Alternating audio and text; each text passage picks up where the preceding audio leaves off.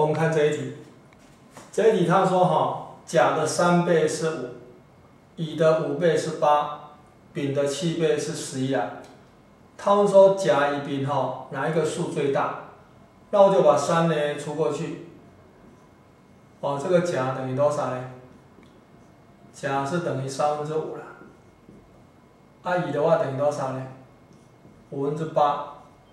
啊，丙的话哈，等于多少呢？七分之十一啊。啊，你就把它减减看看哪一个大就可以了。那我把它化简一下啊，这个刚好是一加三分之二。啊，这是一加五分之三。啊，这是一加哈七分之哎四啊。那我就比较三分之二、五分之三跟七分之四就可以了。我我把三分之二哈减掉五分之三，减减看嘛。通以后是十十五分多少呢？十减九，这等于十五分之一，这大于零了。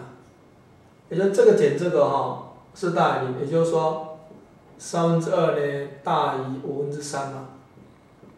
哦，两边哈给它加一，啊这给它加一嘛，再给它加一，啊这个就是甲，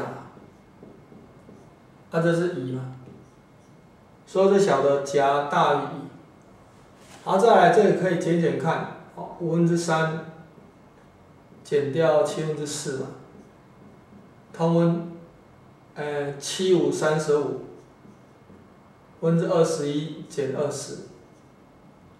这是三十五分之一啊，这是大于零，啊，所以我就晓得五分之三哈，五分之三减七分之四大于零嘛，所以五分之三它是大于七分之四，那两边给它加一，加一，这多少？这是丙啊，啊这个呢，这是乙，所以乙哈，所以乙它是大于丙的，哦。甲大于乙嘛，哦，就这个，甲大于乙，那乙大于丙，乙大于丙嘛，所以是甲最大，哦，甲大于乙大于丙，所以呢是甲最大。